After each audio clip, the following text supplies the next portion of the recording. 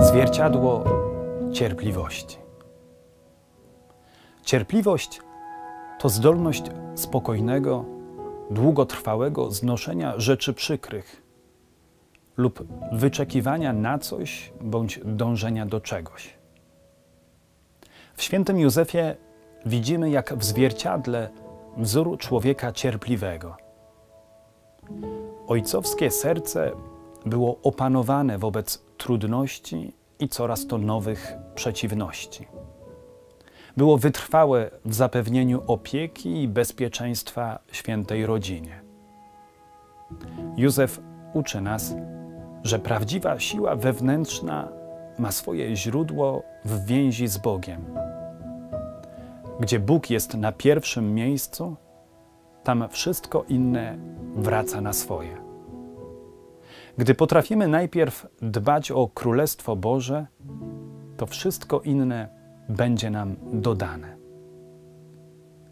Wołajmy każdego dnia razem ze świętym Józefem, zwierciadłem cierpliwości.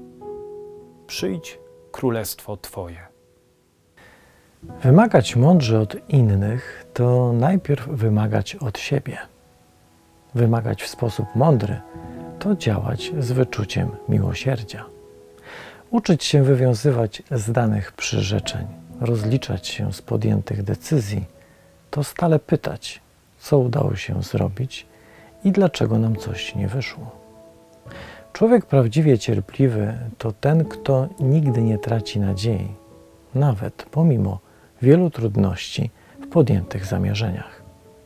Podobnie jak Józef, który zaplanował inną przyszłość z Maryją, ale przyjął cierpliwie wolę Boga nie jako konieczność, lecz jako wielki dar. Serce Józefa uczy nas, że w życiu ważne jest nie tylko to, aby chcieć, lecz aby chcieć czegoś mądrze. Działać wytrwale nie znaczy bowiem kosztem innych. Działać cierpliwie to działać z braterską miłością.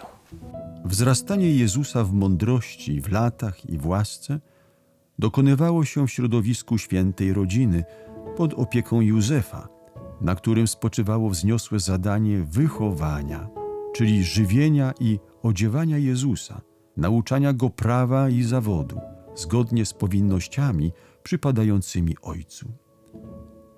Ze swej strony Jezus był im poddany – szacunkiem odpłacając za troskę swych rodziców. Pragnął w ten sposób uświęcić obowiązki życia rodzinnego i pracy, które wypełniał u boku Józefa.